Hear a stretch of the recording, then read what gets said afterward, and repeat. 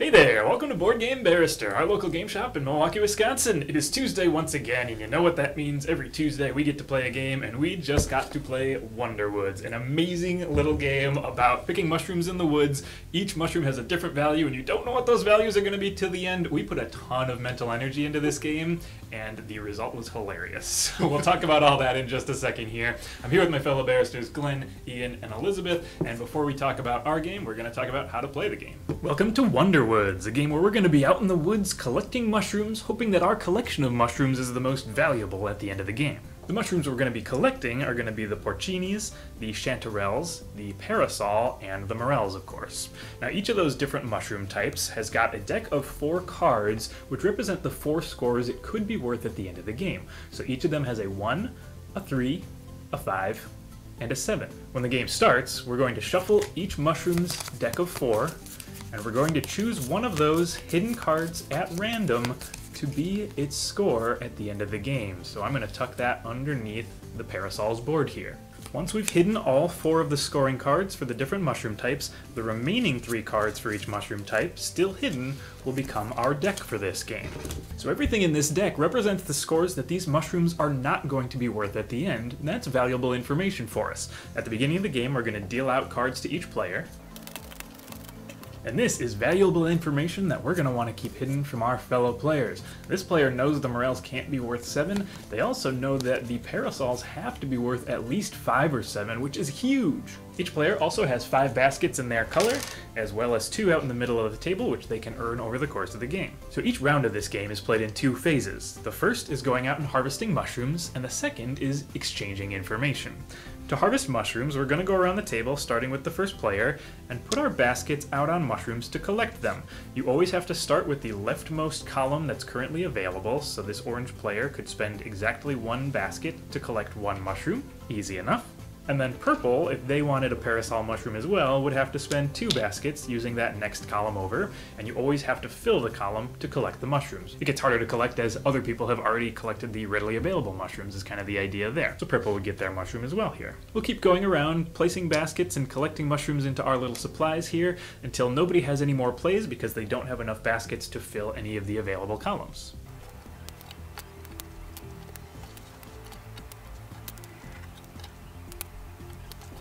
At the end of this phase, once everybody's played their baskets out, we're going to check who has the most baskets played on each of those different mushroom types. So for instance, in the parasols, purple has got two to orange's one. Purple wins that mushroom for the round, so that means they get one bonus mushroom added to their supply. Orange wins the morels, and then green won in both Porcini, and Chanterelles, so they're going to collect one each of those. And that's the end of the harvest phase, which means we're going to move on to the information exchange. At this point, each player is going to look at their hand and decide whether they would like to reveal one of the cards in their hand to all the other players at the table in exchange for getting an extra basket in future rounds. Maybe this player feels like they can give up that Morels aren't worth 3, that might not be the biggest information in the world to anybody, maybe it would, but if they want to do that, they're going to place that card face down on the table, and once everybody's decided whether or not to reveal this information, we'll flip those cards up and show them to everybody else, and those will remain face up for the rest of the game.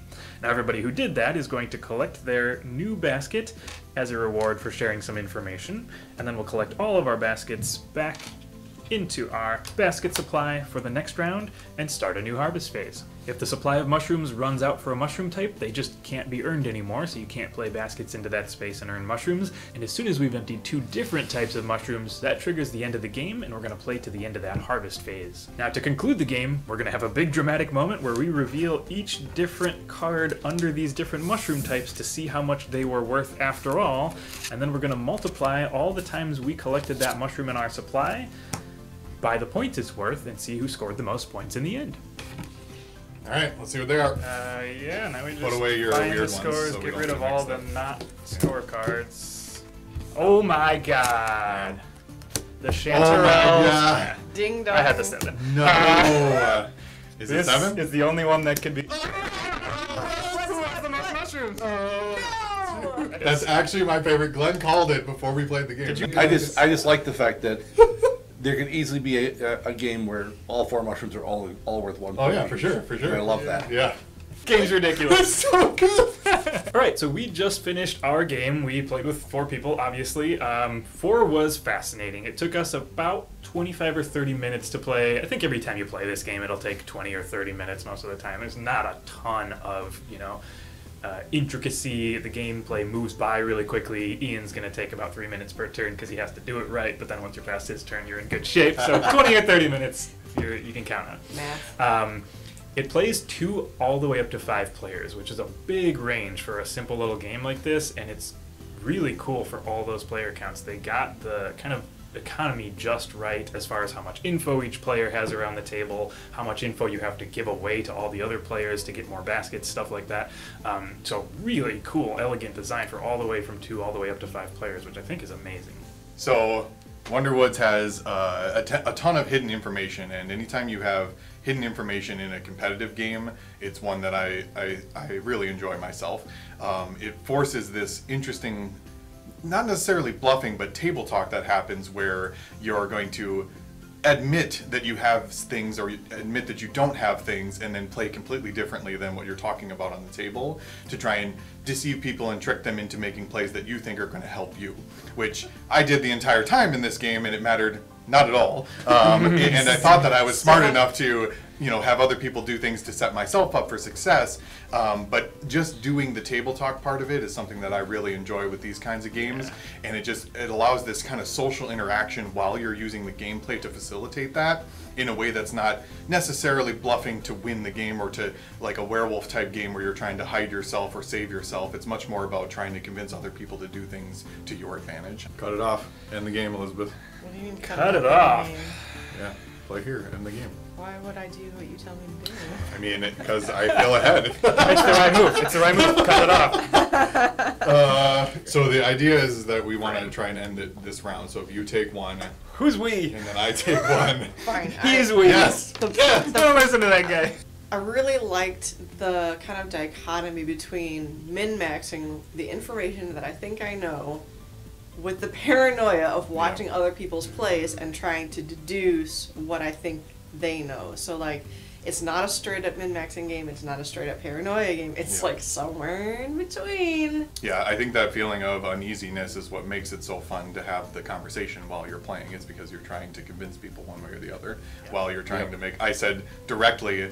My play matters a bunch right now, um, and they never did. They never mattered at all. Like it was that it didn't matter, and it still was like I still felt that way. I felt like, oh man, everything I do is going to make other people make these other decisions, and the, again, that hidden information allows you to really play into that like um, dichotomy that Elizabeth was talking about. This matters a lot Uh, yeah, apparently. well, because you got to think. So if I do, I'm just going to talk it through.